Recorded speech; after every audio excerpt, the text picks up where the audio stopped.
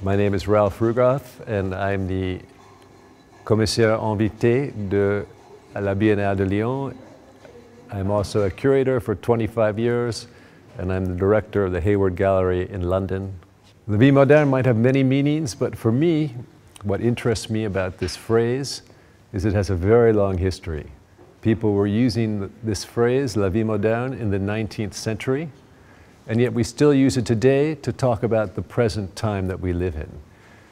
So this idea that maybe the present time has within it an echo of the past, and that the present is not just about what's new and what just happened, but is also about the influence of the past that continues to live and to shape the character of our lives today.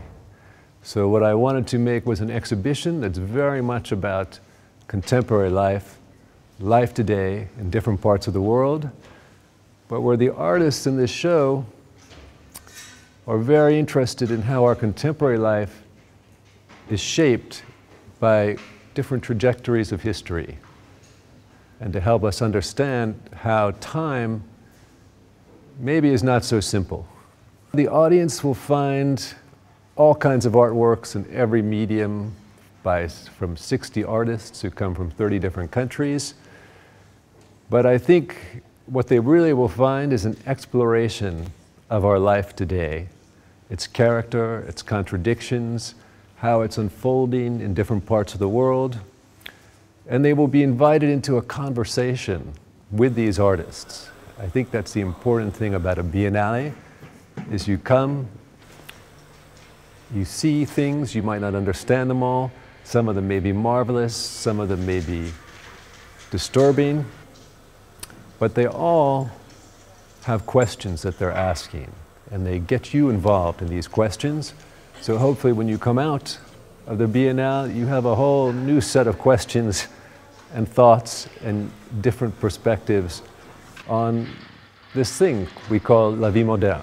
The Lyon Biennale is one of the most respected biennales in the world, and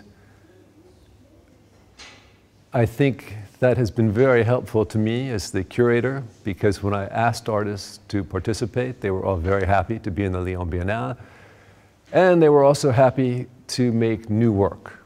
So more than half of the artists in the exhibition have made new works just for Lyon. And I think that's unusual.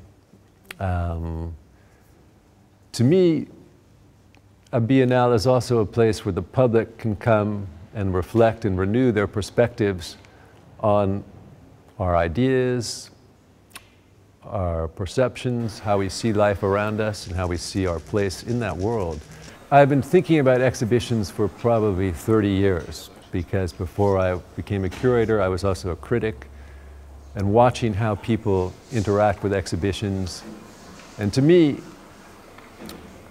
one of the great things about art is that it takes place in a public setting. Uh, when you go to visit a museum or an exhibition, you're with other people and you see the other people, you can look at other people's reactions.